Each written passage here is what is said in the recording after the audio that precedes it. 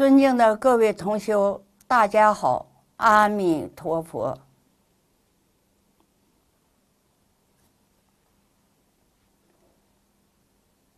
今天这节课分享交流的题目是“佛陀第一弟子守护无上大法”，这是系列专题讲座《释迦所以兴出世》。为说弥陀本愿海的第七节课，也是最后一节课。这节课的内容非常重要，我想和同学们交流以下几个方面的问题：一、守护无上大法是佛陀弟子的使命。首先。我们要弄清楚什么是无上大法。如果你连什么是无上大法都不知道，你怎么守护啊？什么是无上大法？概括的说，就是《无量寿经》是无上大法，净土念佛法门是无上大法。阿弥陀佛佛号是无上大法，阿弥陀佛是无上大法的顶尖，没有能够超过的了。依这个无上大法修行，今生一定能够了生死出轮回，往生极乐世界，亲近阿弥陀佛。为什么说《无量寿经》和净土念佛法门是无上大法？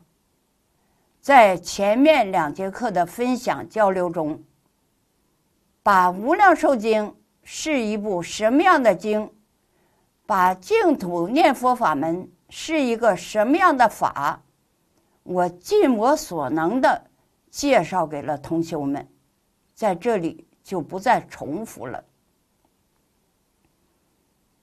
不知道同学们是否还记得，在二零一四年的净土大经科注学习班上，有我写的二十二篇讲稿。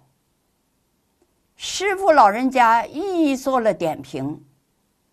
有同修把这二十二篇学习心得报告搜集到一起，出了一本书，书名叫。法语会群生。前两天，我又看了一遍这本书，想再重温一下师傅的点评。因为师傅每一篇点评都包含很大的信息量，我再学二十年也望尘莫及。师傅啊，师傅，伟大的师傅，智慧的师傅。无与伦比的师傅，我庆幸，我怎么这么幸运，今生遇到您这样的好老师。重读这本《法语会全生》，有一种不一样的感觉。有几篇文章深深的吸引了我。他们是：你乱我不乱，心定。阿弥陀，众生皆可成佛，放下便是。宁动千江水，不动道人心。一句佛号大总持，但念弥陀大事毕。大道至简，原来如此。老实念佛不拐弯，今生一定到彼岸。尊师教诲不走样，净土法门要弘扬。智者老实念佛，默默无闻最好。千念万念生死苦轮，阿弥陀佛极乐联邦。重读这些文章，有一种不一样的感觉，什么感觉呢？一。我不认为这是我写的，我没这个水平，读的时候，我的感觉是，写的真好，老法师点评的真好，读了太受益了。如果有人说我这样说是不谦虚，我还是要这样说，因为这是我的真情实感。二，这些文章的标题怎么这么美？注意，我用的“美”。因为我没找到更合适的词儿，我把这二十二篇文章的题目连起来念了几遍，不就是一篇再好不过的学习心得报告吗？妙哉！三，不是有人到现在还不知道怎样笃行吗？我前面。提到了九篇心得，你照着这九篇学习心得报告的题目去做，你就落实笃行了。四，老法师的点评点石成金，越品越有味道，不能一划而过，有的意在言外，含义甚深。不细细品味，就当成一杯白开水了。为什么有人能品出来，有人品不出来？澄净心不一样吗？五，学习《无量寿经》，要像孔子说的那样：“学而时习之，不亦说乎？”习。是把它做到，把学到的东西都要变成生活，变成工作，变成处事待人接物。乐在其中，这个乐是从内心里头流出来的喜悦，不是外面的刺激。当你接触大众的时候，你不失为宜，所在之处。令一切大众生欢喜心，这是什么？这是自性的流露。自性里面有无量的智慧，无量的德能，无量的向好，无量的欢喜。这是自性的无量宝藏，不是外来的。这个宝藏需要开发，用什么开发？用一个人人都知道的秘诀——信愿持名去开发，人人都能做得到，人人都能得到，这不是哪个人的专利。只要你肯干，只要你肯放下，只要你能做得了自己的主，这个喜悦你就得到了。喜悦坚定我们的信心。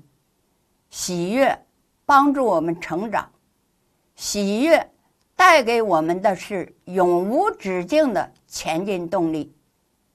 愿我的同学们，人人法喜充满，人人都是快乐的学佛人，人人都是极乐国里人。无量寿经是无上大法，净土念佛法门。是无上大法，阿弥陀佛是无上大法的顶尖，这个理念你认可吗？我为什么问这个问题？因为守护这部大经，守护这个无上大法，是佛陀弟子义不容辞的使命。守护的前提是认可这个理念。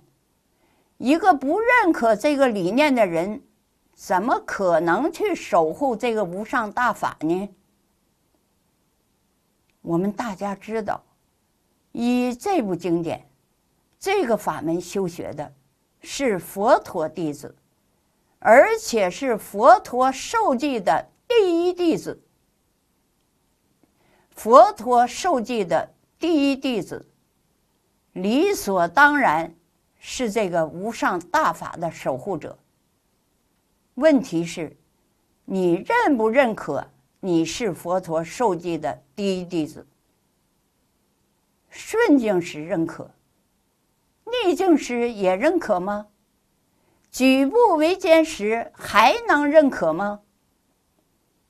我二十多年学佛，一部《无量寿经》，一句阿弥陀佛佛号，没换题目，没拐弯儿我受益了。二十多年学佛路上，我亲身经历、亲眼所见，时不时的刮起的阵阵妖风，卷走了一批又一批的念佛人，我替他们惋惜。因为他们错失了今生了生死、出轮回的大好机缘。我见到了这样四种人：第一种人，刮风掀浪者。这种人是唯恐天下不乱，以造风、刮风为荣。说具体点，这些人专门往起挑事儿。为了一己之利，不惜无中生有，造谣惑众，是社会不安定的重要因素。这种人不讲做人的良知，没有社会责任感，社会上管这种人叫人渣。第二种人，推波助澜者。这种人通俗点说。就是帮凶，就是有人把风刮起来了，他去煽风点火，把声势搞大。这种人助纣为虐，危害性更大。我们更要加倍提高警惕，切莫误上贼船。第三种人，随波逐流者。这种人。没有坚定的立场和主见，总是跟在别人后面跑，是典型的跟风者。糊里糊涂跟风跟到三恶道去了，自己还不知道是咋回事呢。这是佛经上说的可怜悯者。这种人还有个特点，谄媚。第四种人。心定弥陀者，这种人目标明确，信念坚定，死心塌地，一句阿弥陀佛念到底了。这种人是净土念佛法门的中坚力量，是今生了生死、出轮回的成就者。这种人什么样的风都吹不动他，什么样的诱惑。都不能使他上钩，什么样的艰难困苦都不能使他退缩。这样的人才是弥陀的第一弟子，他们是众生的好榜样，真正做到了心定阿弥陀。同学们，对对号吧，你是哪种人？如果。你认可你是佛陀受戒的第一弟子，你就要责无旁贷的守护这个无上大法。下面我们谈第二个问题：二，为什么要守护这个无上大法？一，因为这个无上大法唱佛本怀。大家可以回忆一下。在以往的交流分享中，我们曾经谈到这样一个问题：三千年前，释迦牟尼佛在古印度示现成佛，他的使命是什么？换句话说，他到娑婆世界干什么来了？对于这个问题，我们有明确的回答：释迦牟尼佛。在娑婆世界示现成佛，就干一件事情：宣讲《无量寿经》。宣讲《无量寿经》干什么？帮助众生解决生死问题。这个就是释迦牟尼佛来到娑婆世界的使命。这部经，佛在无量劫以前就想讲了，为什么没有讲呢？机缘不成熟。什么机缘不成熟？众生成佛的机缘不成熟。佛盼了无量劫又无量劫，终于盼来了这一天。众生成佛的机缘成熟了，佛多高兴啊！有经文为证。尔时世尊微光赫熠，如融金具，又如明镜，影畅表里，现大光明，数千百变。佛这样放光现瑞。是阿难尊者从来没有见到过的，所以阿难生起稀有之心，向佛祈请：为什么今天如此放光显瑞？于是佛宣讲了这一部唱佛本怀的无量寿经，这是唯一唱佛本怀的经。守护这个唱佛本怀的无上大法，是佛陀第一弟子的使命。二，因为这个无上大法是佛的唯一正说，正说也叫真实说，说宇宙人生真相的，也叫第一义谛。注意，唯一正说，正说前面有“唯一”两个字，什么意思？就是一个，没有第二个。在佛四十九年所讲的三藏十二部里，还有没有第二部经是佛的正说？没有，只此一部。有同修可能会有疑虑。既然只有一部《无量寿经》是佛的唯一正说，佛就说这一部经不就得了呗？干嘛四十九年说了那么多经？同学们别着急，听我慢慢给你解释。因为众生的根性不同啊，善根、福德、因缘也不尽相同，佛要应机说法。对不同根性的人说不同的法。佛讲三藏十二部，不是让你全都学；佛讲八万四千法门，不是让你门门都去学。人生就是百八十年，你能学得过来吗？八万四千法门，就是对治众生病的药。不是让你全吃了，你得对症下药啊，对症了，病就好了。不是药吃的越多越好，药吃多了，吃错了会要死人的。在这里，我想说说，我们应该怎样正确认识其他经典和其他法门。所有佛经都是释迦牟尼佛说。有的人说这部经好，那部经不好，你错了，你在批评释迦牟尼佛，这是在谤佛。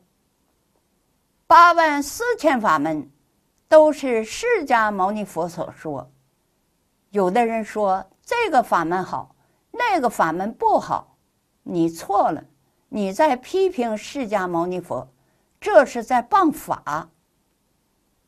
大家想一想，一个谤佛、谤法、谤僧的人，今生学佛，想要成就，有可能吗？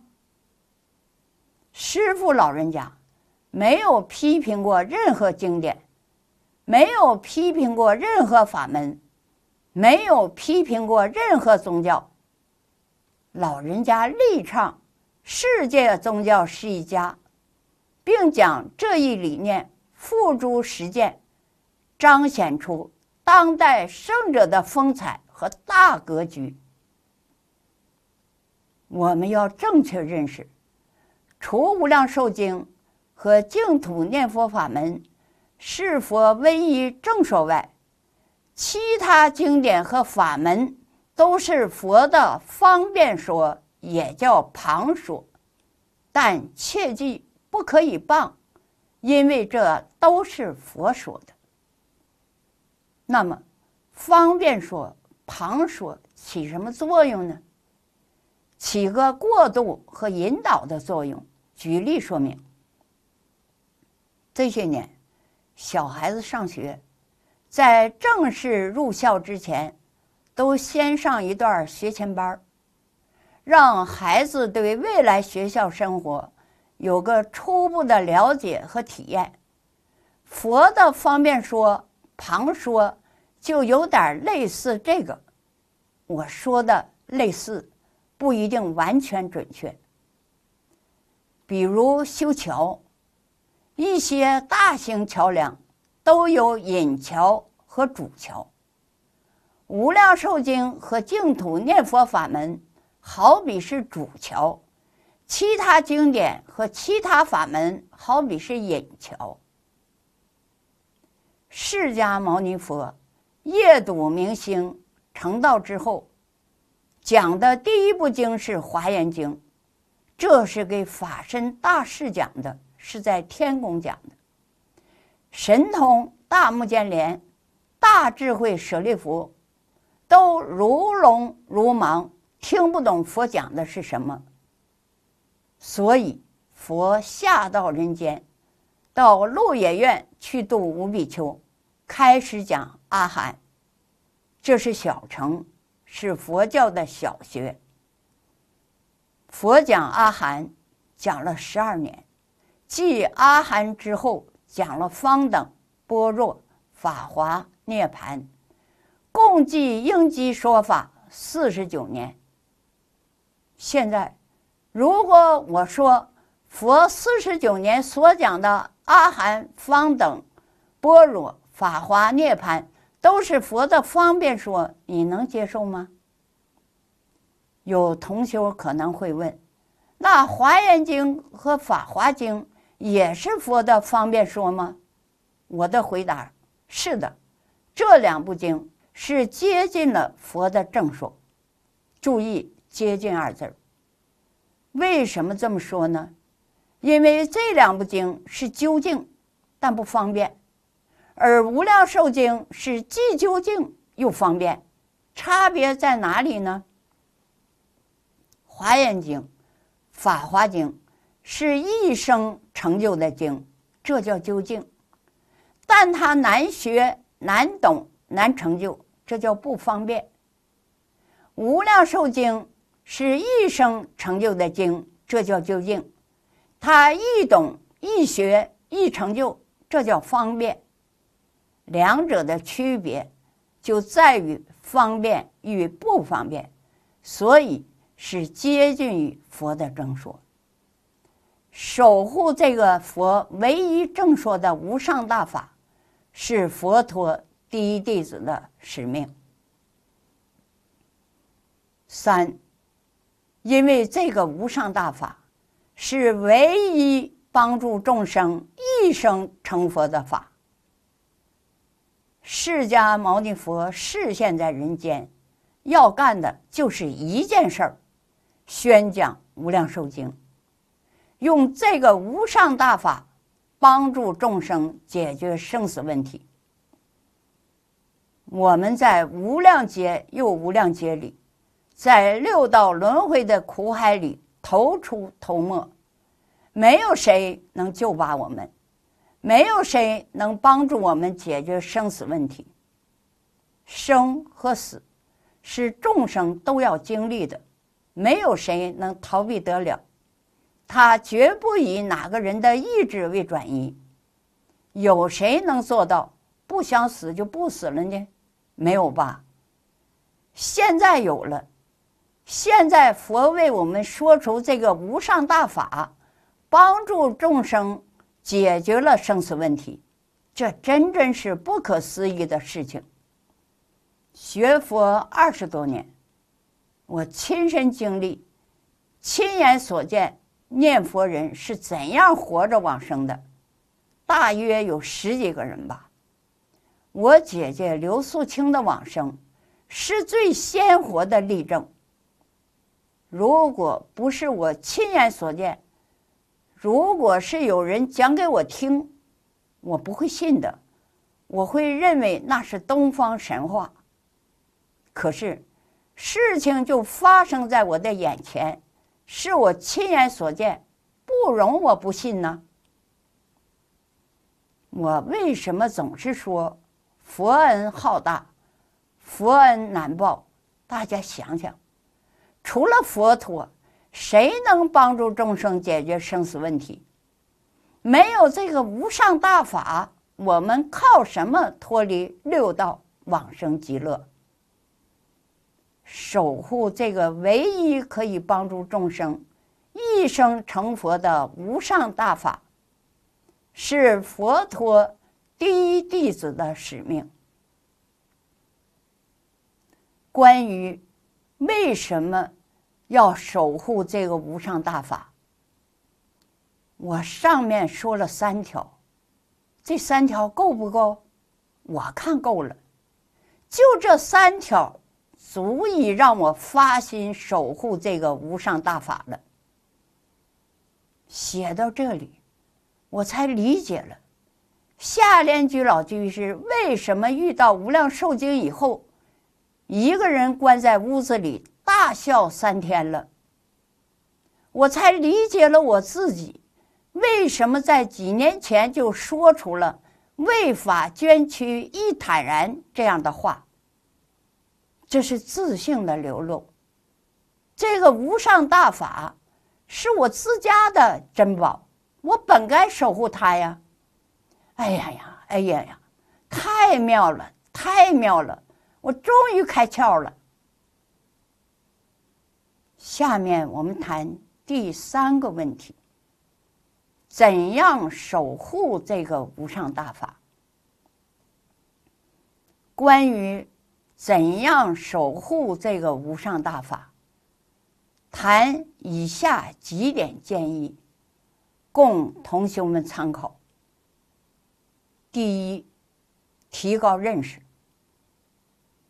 提高认识，这句话不是官话，不是套话，是实实在在的真话。从哪几个方面提高认识呢？我下面所说的。就算是抛砖引玉吧。一，你是佛陀弟子，要勇于何担如来家业。何担如来家业，这是四众弟子义不容辞的责任，不能推三靠四。别人何担如来家业，你来享受如来家业，这是在欠账。欠账是要还的。我们现在建六合境道场，这不是一般的道场，是法界众生共享的道场，是西方极乐世界的接引站，是阿弥陀佛的选佛场。我知道有多少同修向往六合小院。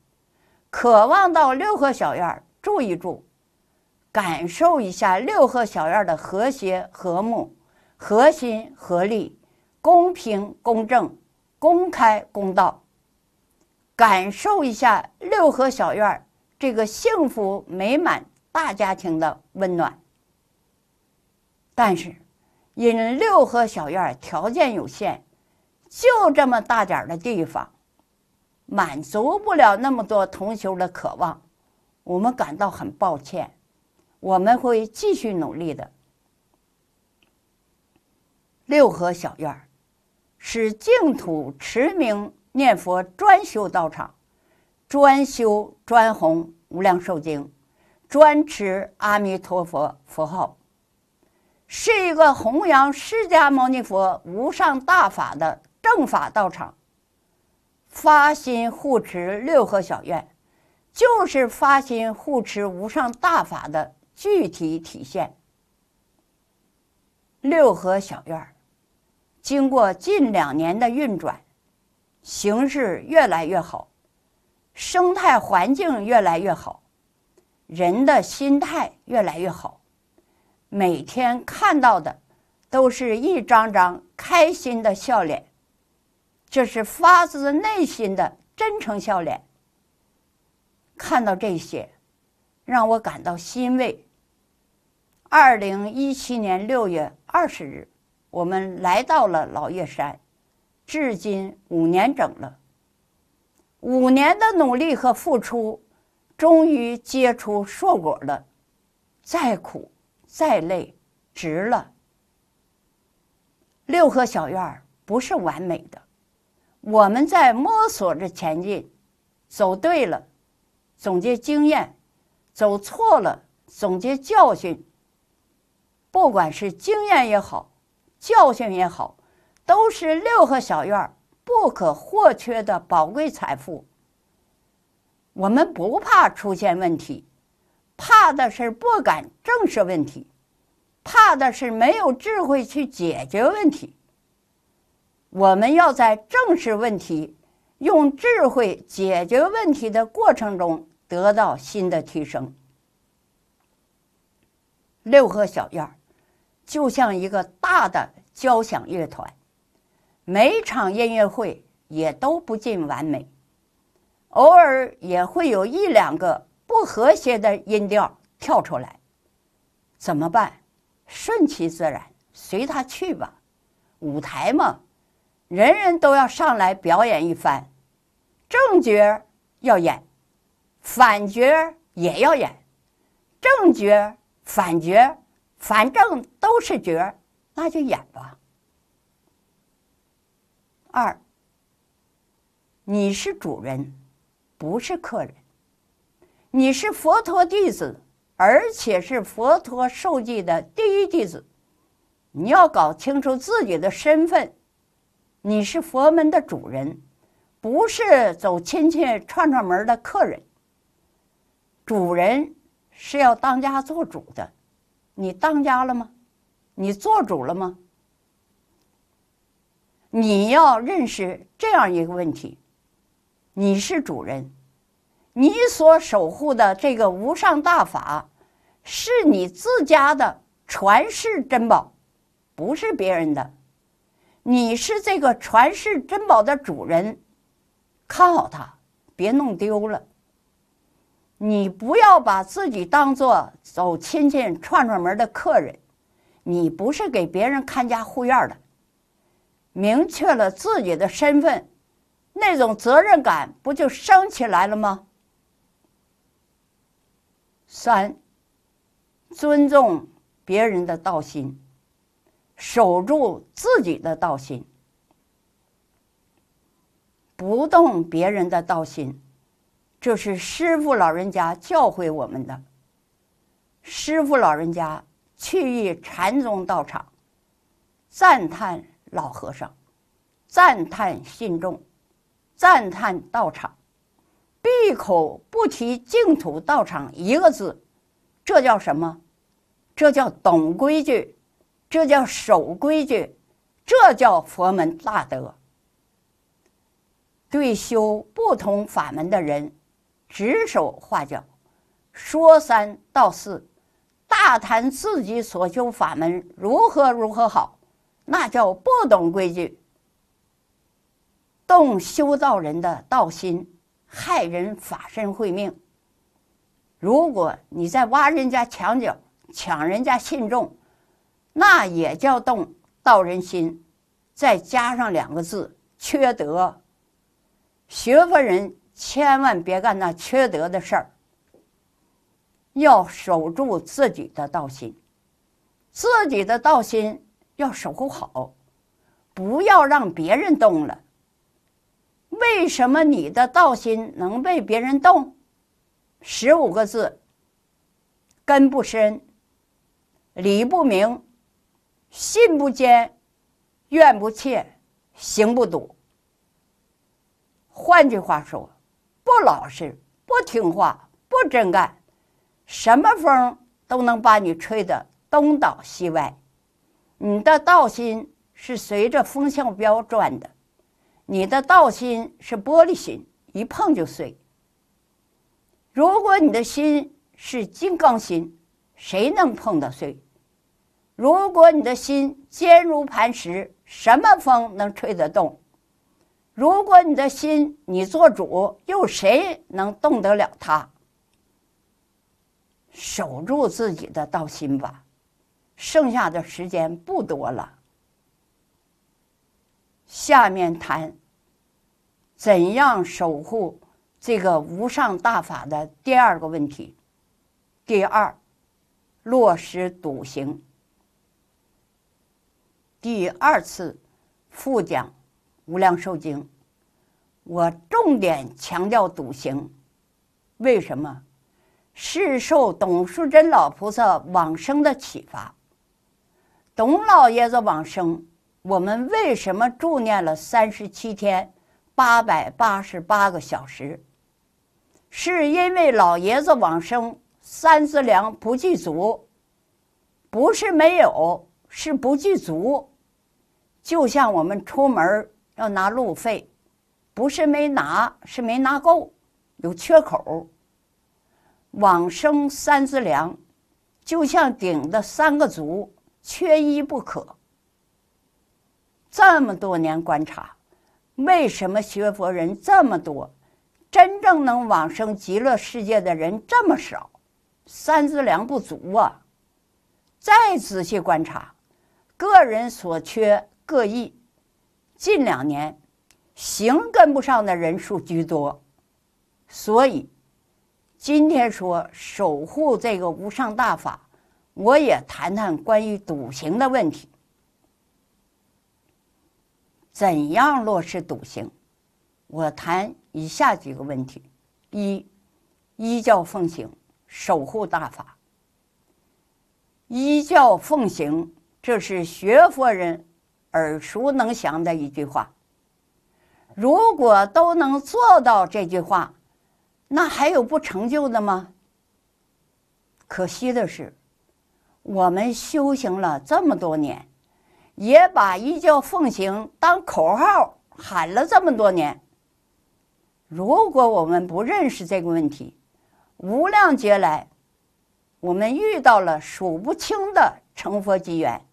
可是都被我们错失了。今生有幸，我们又一次遇到了成佛的机缘，这是百千万劫难遭遇的成佛机缘。如果我们不能依教奉行，这次成佛机缘就会又一次与我们擦肩而过。佛陀弟子守护无上大法。就成了一句空话。谁能坏法、灭法？外人坏不了法，也灭不了法。只有不依教奉行的佛弟子能坏法、能灭法。佛陀弟子守护无上大法，必须依教奉行。二，顶住压力，守护大法。作为佛陀弟子，如果你发心护持无上大法，就要有足够的抗压力。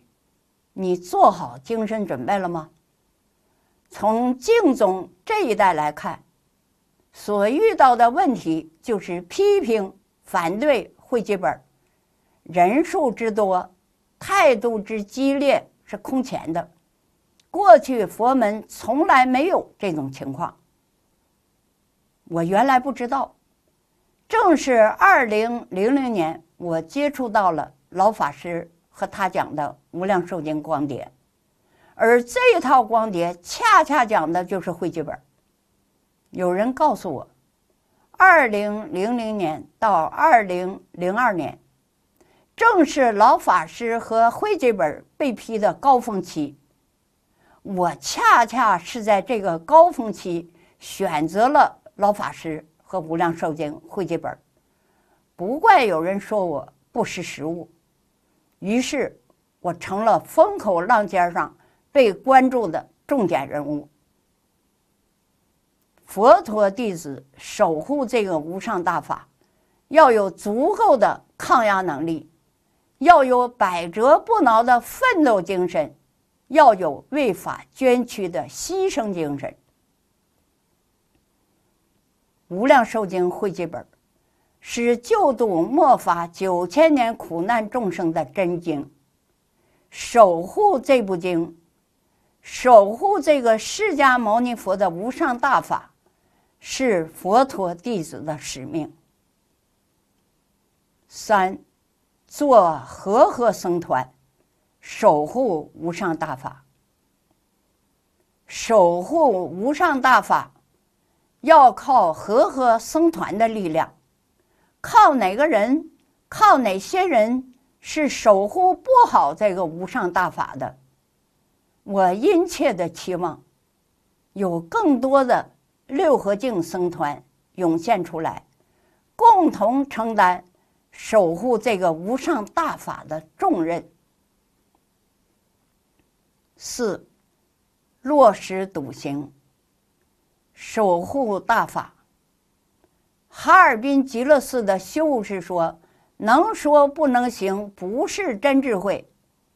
守护无上大法，要既能说又能行。”说，就是把这个无上大法介绍给一切有缘众生；行，就是把无量寿经做出来给众生看。老法师说，讲无量寿经的人，就是一部行走的无量寿经。四种弟子要给众生做出好样子，不要做坏样子。让我们大家携起手来，为守护这个无上大法，贡献我们的一份力量吧。这节课的内容就交流到这里。下面，因为这节课呀是最后一节课，我和菩提心提个建议，我们两个把六合小燕歌唱给同学们听。下面，请菩提心上座。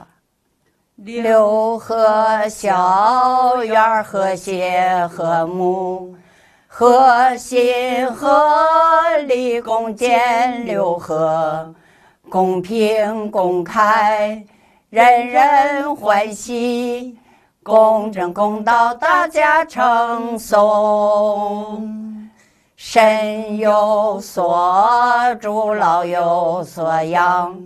心有所依，终有所归，后顾之忧全部解除，孝亲尊师代代传扬。众生苦啊，苦不堪言，赶快登上大法船。法船开往极乐去，见到弥陀笑开颜。学佛就要学快乐，愁眉苦脸莫学佛，人人都生欢喜心，六合小。院真祥和，六合小院是我家，家爱我来我爱家，家中兄弟姐妹多，个个都念阿弥陀。青蛙也会把弥陀念，欢乐小鸟唱阿弥陀，众生一体，和和相处，我们这里就是极乐，快乐美满大家庭。